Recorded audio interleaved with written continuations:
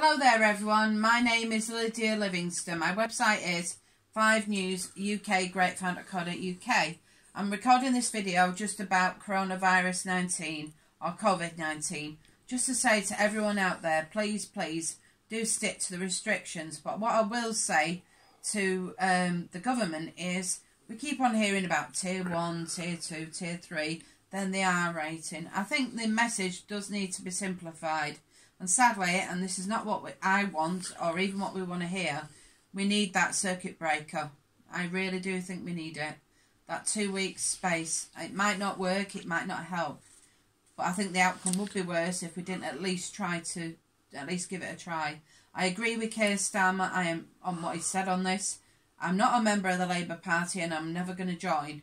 But the thing for me is when it comes to coronavirus 19, this isn't a time for politics. This is a time for common sense and not the colour of the rosette. So please, everyone, listen to the advice. Be safe and whatever happens, don't lose fat to the hope that one day there will be an end to this. What in whichever way it happens, none of us really know. But I will say to the government, in some ways, Boris Johnson, stop talking about the R rating, stop talking about tiers. Make it simple. Not just simple, but very simple. You know, and, and say it from the heart, or get people out there to say it from the heart. I mean, how many spin, do spin doctors do you actually need to do that?